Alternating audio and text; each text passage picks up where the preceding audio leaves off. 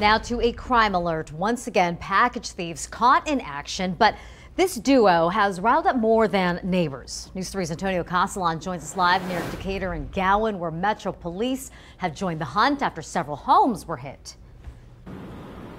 Marie, police say the couple caught on home surveillance have been breaking into cars and stealing packages in this neighborhood. Despite all the home surveillance uh, cameras in this area, there is video of a woman nonchalantly stealing a package from the front door.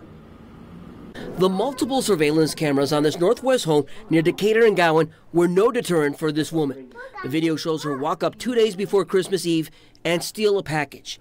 The other angle shows the thief and a man in red pants casing the neighborhood. During the package theft, the man served as a lookout. You could tell they walk by, they see the package, and then they, they slowly turn back around. So they, they kind of just planned it out. He hangs back kind of as a lookout. Greg Everett could not believe what he witnessed on his surveillance cameras. He tells us the scary thing was that his wife and three children were home when the woman stole the package. It stinks when you have people going around during the holidays that, that want to just steal from people. You know, obviously it doesn't make you feel very good. And his name's PJ. The crook got away with a stuffed animal like this one.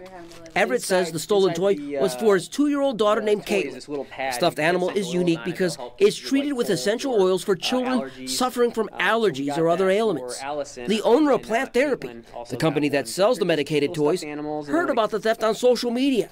Just before Christmas, the CEO, Chris Jones, flew from Twin Falls, Idaho to personally deliver a replacement stuffed animal so it would arrive on time for Christmas. Really, really surprising, shocking that they did that. It was, it was uh, pretty touching. Our family loved it, and they, uh, they scored a, a lifetime of, of uh, support from us now. Metro Police say the thieves have hit multiple homes in the neighborhood.